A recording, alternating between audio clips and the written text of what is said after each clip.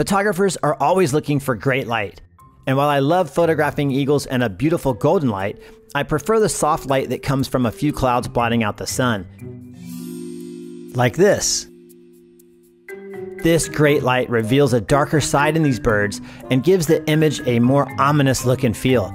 It turns the entire set into a gothic masterpiece where huge flying dinosaurs come cascading out of the clouds, pluck fish from the icy cold waters below, and toss them back like popcorn. I just love the way it feels. It's as if Tim Burton was responsible for creating the set, and instead of photographing Edward Scissorhands, I'm photographing beautiful eagles with their massive murder mittens. Glad I'm not a fish.